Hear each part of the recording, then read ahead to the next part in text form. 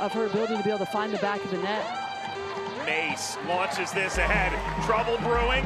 Mathias waits, chips, scores! Bledsoe got caught. Mathias, first game since 2019, scores a peach of a goal. 3-1 courage.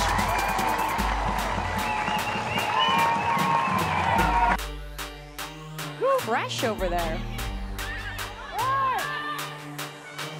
Pugh! Mallory Pugh! Her first goal as a Red Star! And it's a beauty. Well, every time Mallory Pugh has gotten the ball in the attacking third over the 39 minutes in this game, she has gone to goal, determined